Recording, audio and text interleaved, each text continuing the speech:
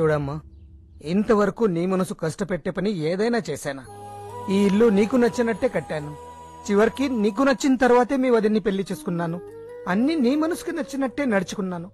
మరి నా మనసు నువ్వు ఎందుకు అర్థం చేసుకోవట్లేదు? నేను చెప్పకూడదు కానమ్మా ఎప్పుడూ ఎవరికి తలవంచని మీ అన్న ఎవడో గొట్టంగాడి ముందు తలవంచాడు. నీకోసం ఎన్నో అవమానాలు భరించాడమ్మా. నేనైతే పురుగుల ముందు ఆగి? ఆ, కానీ నీకోసం ఇంకా బతుకున్నాడు చూడు.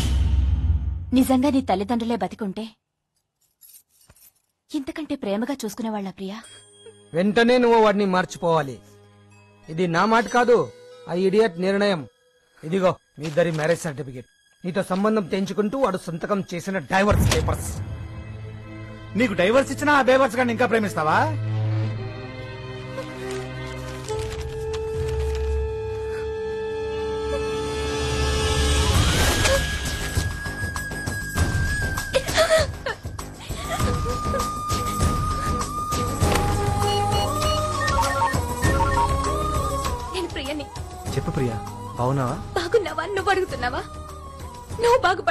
నన్ను ప్రేమించావు. నన్ను బాధ పెట్టి నువ్వు బాగుపడ్డావు. ప్రియా నేను చెప్పేది విను ప్రియా. మాట్లాడద్దు. ప్లీజ్ ప్రియా నా మాట విను. ఫోన్ పెట్టేస్తాను. ప్రియా ఆగు నేను చెప్ చూడు. ప్రతిరోజు ప్రతి క్షణం ఏడుస్తూనే ఉన్నాను. నిన్ను ప్రేమించినందుకు కాదు నీలాంటి మోసగాడిని ప్రేమించినందుకు. ప్రియా నన్ను అర్థం చేసుకో. అర్థం చేసుకునే దెబ్బతిన్నాను ఏదో ఒక రోజు నన్ను వెతుక్కుంటూ వస్తావనుకున్నాను. కానీ ఏ క్షణంలో డివోర్స్ పేపర్స్ మ్యారేజ్ సర్టిఫికెట్స్ మా అన్నయ్యకి ఇచ్చావు. ప్రియా అసలు అది నువ్వేం చెప్పొద్దు. ఇక నుంచి నీకు నాకు మధ్య ఏం లేదు. నువ్వు చేసిన పనికి నేను ఇంకా ఎందుకు బతుకున్నానో తెలుసా? మా అన్నయ్య కోసం. అందుకే ఆయన చెప్పిన అబ్బాయినే చేసుకోబోతున్నాను. సార్ వర్క్ పూర్తవ్వాలి. కష్టం సార్. ఏమైనా చేయి వర్క్ పూర్తవ్వాలి.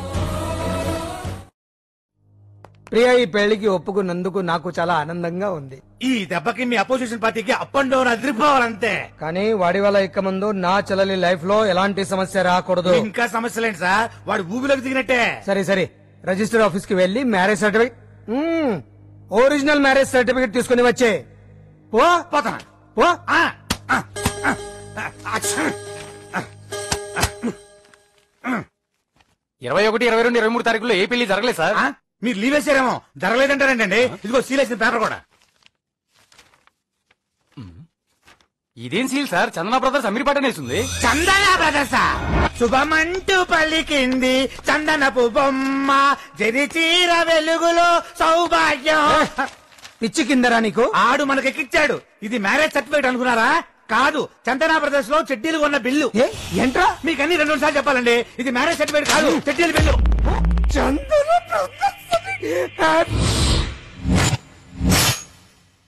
కూర్చో. సార్. కూర్చో. సార్. వాడే డూప్లికేట్. వాడు ఇచ్చిన మ్యారేజ్ సర్టిఫికేట్ డూప్లికేట్. వాడిని క్షమించి వదిలేస్తే ఎంతకైనా తెగిస్తాడు. నా చెల్లెలి కోసం ఎన్నో చేశాను. ఒకే ఒకే ఒక హత్య. సార్ వద్దు కృష్ణ. వాడు పెద్ద క్రిమినల్. వాడిలాంటి క్రిమినల్ని ఎక్కడ చూడలేదు. వాడు బతుకున్నంత వరకు నాకు మనశ్శాంతి లేదు.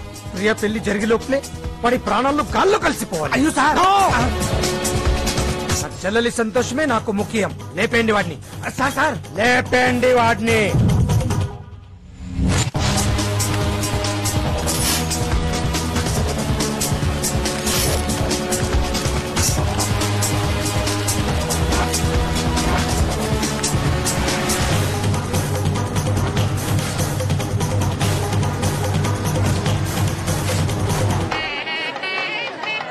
వెల్కమ్ వెల్కమ్ చాలా బాగున్నా థ్యాంక్స్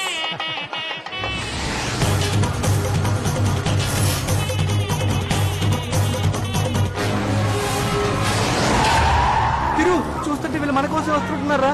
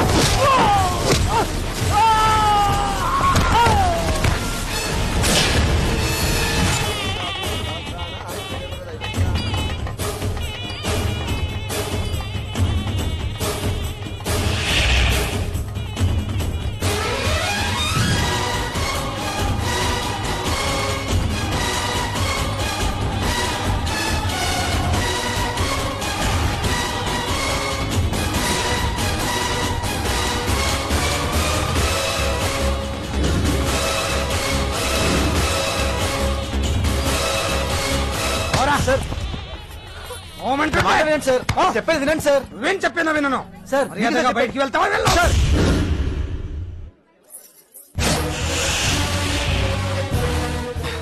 మీరు పంపించిన మనుషుల్ని కొట్టినోడిని. మిమ్మల్ని కొట్టడం ఎంతోసేపు పట్టదు ఏంట్రా? ఏదైనా గొడవ చేసి ఈ పెళ్ళి ఆపాలని అనుకుంటున్నావా?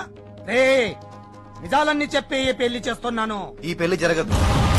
రే ప్రియాతో సంబంధం తెంచుకుంటాననే కదా డబ్బు తీసుకెళ్ళావు? మళ్ళీ ఇప్పుడు ఎందుకు వచ్చావు? నేను డబ్బు తీసుకుంది ప్రియాని వదులుకోవడానికి కాదు. నా ప్రేమను గెలిపించుకోవడానికి మీరే చెప్పారు కదా సార్ మీ చెల్లెలతో బతకాలంటే కార్లు ఆస్తులు అంతస్తులు కావాలని. అవన్నీ ఇప్పుడు నా దగ్గర ఉన్నాయి. రే అవన్నీ నీ సొంత డబ్బుతో సంపాదించి చూపించాలరా. సొంత డబ్బు నా దగ్గర లేదు సార్. జీవితంలో పెద్ద బిజినెస్ మ్యాన్ కావాలని నాకు కోరుకుంది. డబ్బు సంపాదించే టాలెంట్ ఉంది సత్తా ఉంది. కానీ ఆ టాలెంట్ ప్రూవ్ చేసుకోవడానికి ఎవరు ఛాన్స్ ఇవ్వలేదు సార్. ఛాన్స్ ఇస్తేనే కదా సార్. సచిన్ టెండూల్కర్. బిజినెస్ చేద్దామని నాన్న డబ్బడిగా. భూమిని నమ్మి డబ్బిచ్చాడు గాని బిడ్డని నమ్మి డబ్బు ఇవ్వలేదు సార్. సరే అని బ్యాంకులో లోన్ అడిగా. షూరిటీ ఉందా సెక్యూరిటీ ఉందా ప్రాపర్టీ ఉందా గ్యారంటీ ఉందా అని అడిగారు. సింగిల్ టీకెట్ కానాలేని నాకు ఇన్ని టీలు అడిగితే ఎలా సార్? పశువుల్ని నమ్మి అప్పించే మన దేశంలో మనుషుల్ని నమ్మి డబ్బివ్వరు. మార్వాడి కొట్టుకెళ్తే రెండు గ్రాముల బంగారానికి ఉన్న విలువ. మాలాంటి మా చదువుకున్న కుర్రాలకు లేదు సార్. మీ చెల్లెని నేను ప్రేమించాను సార్. ఆమెకి ఆస్తి అంతస్తు కార్లు ఉన్నాయా అని ఎంక్వైరీ చేయకుండానే ప్రేమించాను. కానీ నాకు తెలివి ఉందా టాలెంట్ ఉందా మీ చెల్లెల్ని బాగా చూసుకోగలనా అని అడగలేదు. సెటిల్ అయ్యానా లేదా అనేదే మీరు చూసారు సెటిల్ అయితేనే ప్రేమ పెళ్ళి అనుకుంటే పాతికేళ్ళు వచ్చే వరకు ఎవరికి పెళ్ళిళ్ళు కావు సార్. డైరెక్ట్గా అరవై ఏళ్ళకే. ఆ వయసులో పెళ్ళి చేసుకుంటే వాకింగ్కి పోవాల్సిందే తప్ప సంసారానికి పనికిరాం సార్. ఆ రోజు ఏమన్నారు సార్? మీ చెల్లెలు ఒక పూట తినడానికి నెల రోజులు సంపాదించాలా? హ, ఇప్పుడు నేను ఒక్కరోజు సంపాదిస్తే మీ చెల్లెలు నెల రోజులు తినొచ్చు. నేను స్టేటస్లో మీ అంతటి వాడిని మీ చెల్లెల్ని చేసుకోవాలనుకున్నాను. కానీ నాకు మీలాగా తాత ముత్తాతలు సంపాదించి పెట్టిన ఆస్తులేమీ లేవు సార్. నాకున్న ఒకే ఒక్క ఆస్తి నా ప్రేమ ఒక్కటే. దాన్నే మీ దగ్గర తాకట్టు పెట్టాను డబ్బు తీసుకున్నాను. ఆ డబ్బుతో ఎంత డబ్బు సంపాదించాను సార్. తీసుకోండి సార్. మీరు ఇచ్చిన డబ్బంతా వడ్డీతో సహా తీసుకోండి. కానీ నా ప్రేమ నాకు తిరిగిచ్చేయండి. నేను డబ్బు తీసుకున్న పద్ధతి చెడుగా ఉండొచ్చు. సంపాదించింది మాత్రం మంచి మార్గంలోనే సార్. ప్రియ కోసం నేను ఇల్లు కడుతున్నాను. అది కట్టడం పూర్తయ్యాక మీ దగ్గరకు వచ్చి అన్ని నిజాలు చెప్పి ప్రియను తీసుకెళ్దాం అనుకున్నాను. మీరు కోరుకున్న దానికంటే ఎక్కువగా నేను ప్రియం చూసుకుంటాను. నాకు ప్రియ అంగీకారం కన్నా మీ అంగీకారం ముఖ్యం. ఇంకా నా మీద నమ్మకం లేకపోతే ప్రియకి నాకు ఏ సంబంధం లేదని బెదిరించి రాయించి తీసుకున్నారు. ఇప్పుడు నేనే ఇస్తున్నాను. తీసుకోండి సార్. ఏయ్ ఆగో.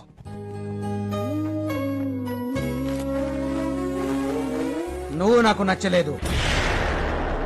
నీ పద్ధతి ప్రవర్తన ఏది నాకు నచ్చలేదు. కానీ ఓ మంచి బిజినెస్ మ్యాన్గా నువ్వు నాకు నచ్చావు. నువ్వు తలుచుకుంటే నా చెల్లెల్ని పెళ్ళి చేసుకున్న రోజే నీతో తీసుకుపోయిండొచ్చు కానీ నా అంగీకారం కోసం నువ్వు ఎక్కడికి వచ్చావు. ఆ సెంటిమెంట్ నాకు నచ్చింది. బాగా నచ్చింది. నీ వయసులో ఉన్న కురాడు ఎవరైనా సరే ప్రేమని అమ్మేసి డబ్బు తీసుకెళ్ళి తాగి దందనాలాడేవాడు. కానీ మనసులో కసిపించుకుని బిజినెస్లో గెలిచావు. అందుకే నీ ప్రేమ నాకు నచ్చింది. నాకన్నా నా చెల్లెల్ని గొప్పగా చూసుకోవాలనుకుంటున్నావు. అందుకే నువ్వు నాకు నచ్చావు.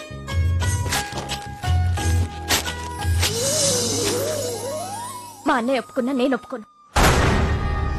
ప్రేమ అనేది ఓ వస్తువు కాదు. తాకట్టు పెట్టుకోవడానికి అమ్ముకోవడానికి. ప్రియా నేను చేసిందంతా నువ్వు సంతోషంగా ఉండాలని. ఎవరికి కావాలి నువ్వు ఇచ్చే సంతోషం? నేను నిన్ను అడిగానా? కారు కావాలి బంగ్లా కావాలని? నీ దగ్గర ఏం లేదని తెలిసే కదా నిన్ను ప్రేమించాను.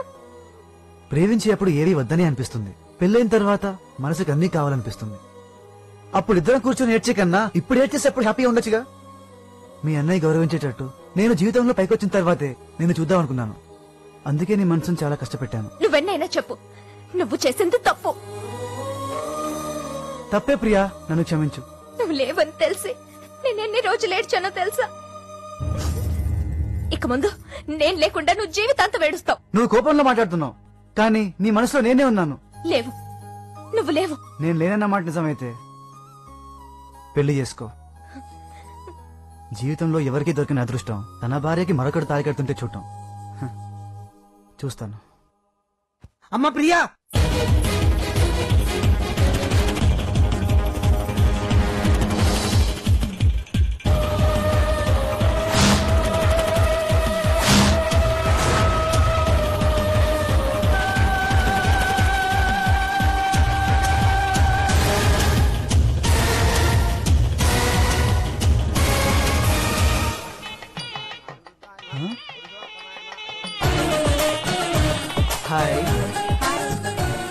నీకు అన్నయ్య ఉన్నాడా? లేడు. ఓ I'm Tiru Tirupati. I'm Paru. What a nice name thank you నీ హ్యాండ్ ఇంత సాఫ్ట్గా ఉంది సాఫ్ట్వేరా oh what a nice hand ఎక్కడ ఉంటారు మీరు? ఏయ్, ప్రియా,